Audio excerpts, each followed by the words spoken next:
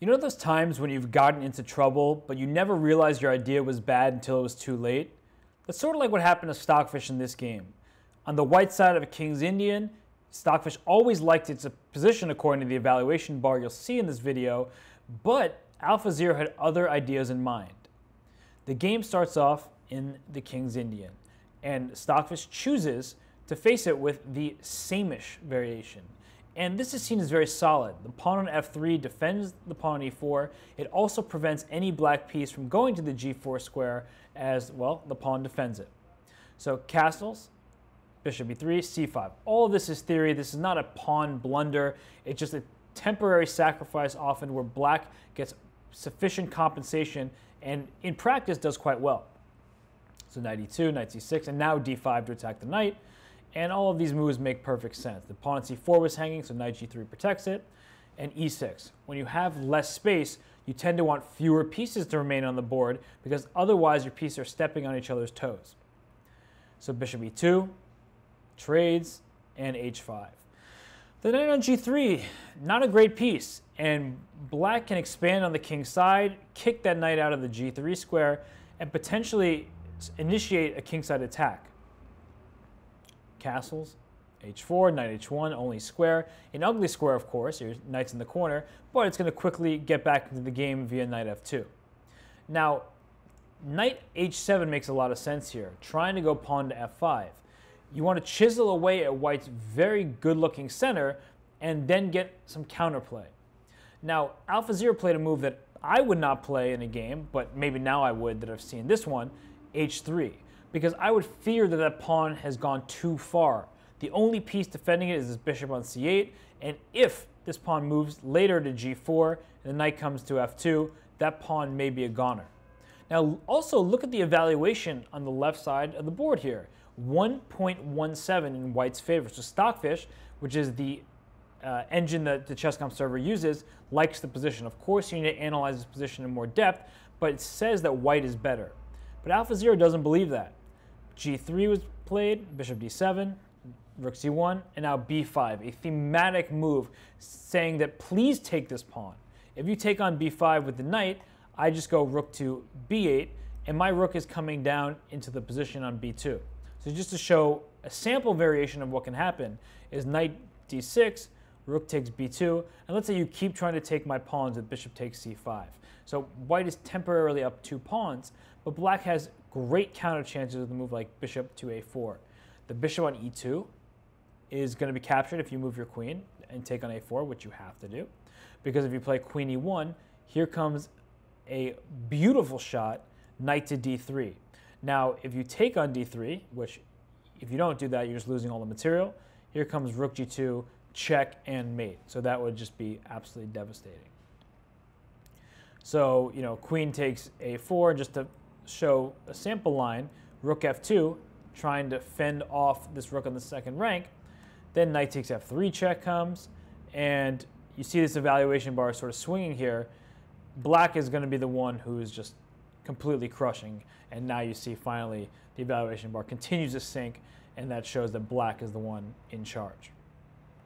So after b5, no capture, knight f2, but here's sort of the depth that it seems like black is in danger of overextending because we'll see rook e8. Still don't want to take that pawn on b5. And after king h1, just getting the king what looks like to safety, b4, knight b1. And black has some structural issues here. This knight is trying to quickly plug the c4 square. And from c4, it hits d6 and it trades away black's best pieces, knight on e5. But check this move out. Bam! Knight e to g4. I was not anticipating at all when I was first shown this game because what kind of move is that? You're giving up your knight for what looks like just one pawn. But the evaluation is 1.3 in white's favor right now. Again, that's silly stockfish. But look how quickly the dynamic of the game changes. Pawn g4, knight e4. Now all of a sudden I'm threatening knight takes g3 with check over here. And once that pawn um, is captured, then I can take your e3 bishop with my rook, right? So all of a sudden lines are opening up in black's favor. Not to mention that this bishop on g7 has a new lease on the board because the b2 pawn is hanging. So trade on e4, bishop f4. Okay, coming after the d6 pawn. So queen e7 protects, bishop f3, and now bishop takes b2. So offering a series of trades because now all of a sudden black has two pawns for the piece, and this g4 pawn might fall next, so that would be a third pawn. So bishop takes d6. Taking one pawn back, queen d6, bishop e4, and we see that black currently has just one pawn for the knight. But it's not the quantity of pieces that Alpha Zero is sniffing out here. It's the quality of them. Because look at the play here. Bishop b5 hitting the rook on f1. The rook moves. Rook to e8, sort of pinning this bishop. The bishop is nowhere good to go. And black is just trying to push this c5 pawn down to the c3 square. Just when you have a passer, you want to keep advancing it. Knight d2, c4. What did knight d2 do to stop that move? Absolutely nothing. If you take on c4, you're just going to lose very quickly because after queen c5, my queen's coming to f2, I'm knight d2, queen f2, and you can't stop me from sacrificing my rook on the e4 square, in which case you're going to have problems on the light squares. So it's going to be check and mating ideas. So knight takes c4 doesn't work, so knight f3.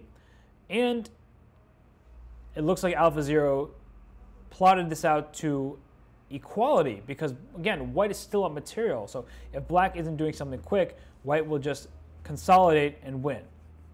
So queen f4, ignoring the queen trade, queen c5. I should say avoiding it instead of ignoring it, knight e5, and now rook e7. So calmly defending the f7 square.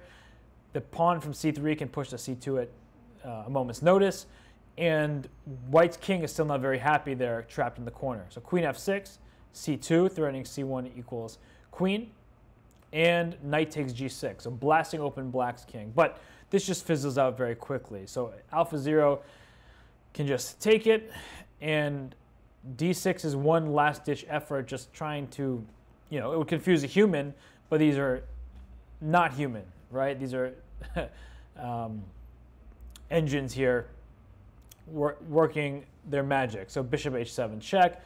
Okay, you can take it either way, but the point is now it's just a series of checks. And so the game ended with a million checks. So this part of the game was just going back and forth until its natural conclusion of a draw. So a really fascinating game this one was. Um, sacrificing the knight on the g4 square, catching me by surprise, perhaps catching the Stockfish developers by surprise, but AlphaZero really plotted this ahead. I mean, this was something fascinating. And just getting to the game's conclusion, might as well show you the rest here, as it was just a bunch of checks. And the evaluation bar is just sticking at zero because the king can't escape all these checks.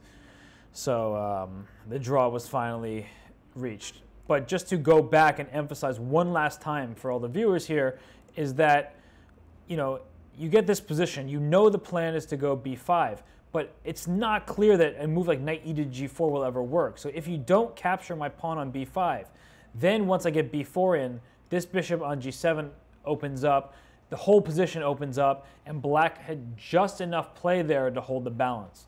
So a phenomenal move, just to show that on the board once more. Knight e to g4. I mean, that's for the highlight reel.